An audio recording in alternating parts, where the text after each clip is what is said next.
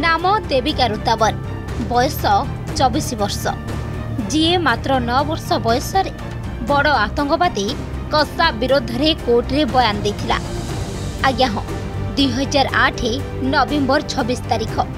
ଆଜିର ଦିନରେ ମୁମ୍ବାଇରେ ମୃତ୍ୟୁର ତାଣ୍ଡବ ରଚିଥିଲେ ଆତଙ୍କବାଦୀ। ଯେଉଁ ଘଟଣା ସାରା ଭାରତକୁ ଦୋହଲାଇ ଦେଇଥିଲା। ଆଜି ଏହି ଦିନକୁ ପନ୍ଦର ବର୍ଷ ପୂରିଛି। ଆତଙ୍କବାଦୀ କମାଣ୍ଡର ଅଜମର କସାବ ବିରୋଧରେ କୋର୍ଟରେ ଶୁଣାଣି ଚାଲିଥିଲା। ସେତେବେଳେ ଜଣେ ନଅ ବର୍ଷର ବାଳିକା ଦେଶର ଦୃଷ୍ଟି ଆକର୍ଷଣ କରିଥିଲା। ଆଉ ଯାହାଙ୍କ ନାମ ହେଉଛି ଦେବିକା ରୋତାବର।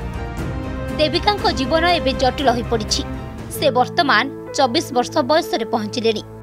ଦେବିକାଙ୍କ ପରିବାର ଗତ ଆଠ ବର୍ଷ ମଧ୍ୟରେ ସରକାରଙ୍କ ତରଫରୁ ତେର ଲକ୍ଷ ଟଙ୍କା କ୍ଷତିପୂରଣ ପାଇଛନ୍ତି। କିନ୍ତୁ ତଥାପି ଦେବିକାଙ୍କ ଆର୍ଥିକ ଅବସ୍ଥା ସେତେ ଭଲ ନାହିଁ। ସେ ଚାକିରି ଖୋଜୁଛନ୍ତି। ତାଙ୍କ ବାପାଙ୍କୁ ମଧ୍ୟ କୌଣସି ଚାକିରି ମିଳୁନାହିଁ। ପୂର୍ବରୁ ଦେବିକା ଏକ ଚାଳ ଘରେ ରହୁଥିଲେ କିନ୍ତୁ ପରେ ତାଙ୍କୁ ପୁନର୍ବାସର ଏକ ଅଂଶ ଭାବରେ ଏକ ଆପାର୍ଟମେଣ୍ଟରେ ଫ୍ଲାଟ୍ ଦିଆଯାଇଥିଲା। କିନ୍ତୁ ଏଥିପାଇଁ ତାଙ୍କୁ ଉଣେଇଶ ହଜାର ଟଙ୍କା ଭଡ଼ା ଦେବାକୁ ପଡ଼ିବ। ଦେବିକା ଜଣେ ପୋଲିସ ଅଧିକାରୀ ହେବାକୁ ଇଚ୍ଛା କରନ୍ତି କିନ୍ତୁ ସେ ଗତ କିଛି ମାସ ଧରି ଚାକିରି ଖୋଜୁଛନ୍ତି। ସେ ଆଇପିଏସ୍ ଅଧିକାରୀ ହୋଇ ଆତଙ୍କବାଦକୁ ଶେଷ କରିବେ ବୋଲି ଚାହାନ୍ତି। ସେ କହନ୍ତି ବର୍ତ୍ତମାନ ମୁଁ ଚାକିରି ଖୋଜୁଛି କିନ୍ତୁ ମୋର ସ୍ୱପ୍ନକୁ ପୂରଣ କରିବା ପାଇଁ ମୁଁ ସବୁ ପ୍ରକାରର ଚେଷ୍ଟା କରିବି। ଯେତେବେଳେ ମୁମ୍ବାଇ ଆକ୍ରମଣ ହୋଇଥିଲା ଦେବିକାଙ୍କୁ ସେତେବେଳେ ନଅ ବର୍ଷ ହୋଇଥିଲା ଏବଂ କିଛି ମାସ ମଧ୍ୟରେ ତାଙ୍କର ଦଶମତମ ଜନ୍ମଦିନ ପାଳନ କରିବାକୁ ଯାଉଥିଲେ।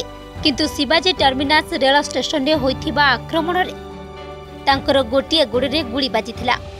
କୋର୍ଟରେ କସାବକୁ ଚିହ୍ନିବାରେ ଦେବିକା ସର୍ବକନିଷ୍ଠ ସାକ୍ଷୀ ଥିଲେ। ସେହି ସମୟରେ ତାଙ୍କର ଗୋଟିଏ ଫଟୋଗ୍ରାଫ ଗଣମାଧ୍ୟମରେ ବହୁ କଭରେଜ ପାଇଥିଲା।